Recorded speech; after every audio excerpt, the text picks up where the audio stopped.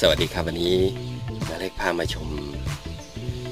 ต้นข้าวพรรษาดอกสีเหลืองนะของนาเล็กที่เพาะเองจากเมล็ดนะเนี่ยต้นใหญ่ตัวนี้ก็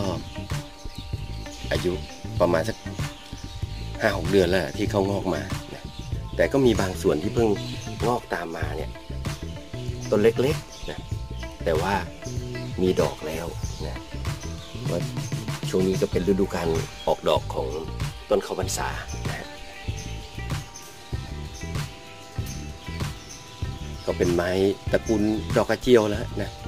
ก็จะออกดอกช่วงเวลาไล่เรียกกันนะตระกูลขิงตระกูลขาเนี่ยดอกเขาถือว่าสวยงาม แต่ว่ายังไม่สมบูรณ์นะเพราะว่าเนี่ยเป็นดอกชุดแรกนะยังไม่สมบูรณ์เต็มที่ คือดอกอาจจะยังเล็กอยู่ แต่สิ่งที่เราเห็นก็คือว่า คือการเริ่มต้นที่ดีไงก็คือปลูกแล้วเขางอกเจริญงอกงามได้ดี แล้วก็มีเนี่ยหน่อใหม่ที่เกิดขึ้นเนี่ยเยอะเยอะแยะมากมายเห็นไหมฮะขึ้นเต็มเลยอะเนี่ยเราก็สามารถที่จะแยกออกเป็น กระถางใหม่ได้นะกอต่างๆเนี่ยบางทีเราคิดว่าเลี้ยงยากนะถ้าเรา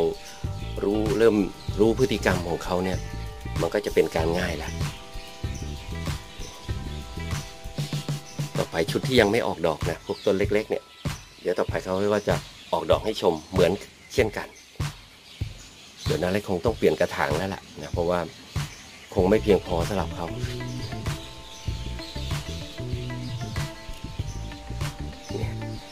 ก็เตรียมขยายพันธุ์เพิ่มขึ้นเรื่อยๆ เห็นไหมฮะ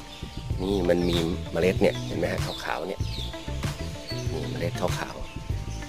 ๆเป็นผลของเขาเนี่ยก็สามารถที่จะเอาเม็ดขาวๆเนี่ย ไปหวานเพาะลงได้ คือเหมือนมันจะงอกมาเป็น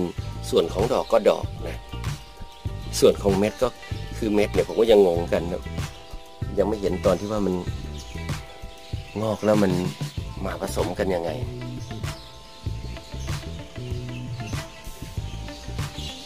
ค่อยเรียนรู้ไปนะฮะ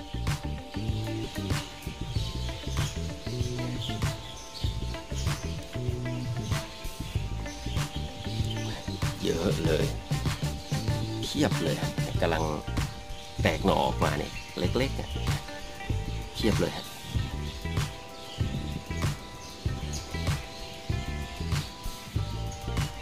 คงได้เป็นสิบหน่อสิบกอนั่นแหละอย่างต่ำอะครับผมสำหรับคลิปนี้นะเล็กก็เก็บมาฝากกันเพียงแค่นี้จากต้นข้าวพรรษาครับผม ครับ ขอบคุณครับที่ติดตามรับชมช่องกิตในสารพี ชอบอย่าลืมกดไลค์กดแชร์กันนะผม สวัสดีครับ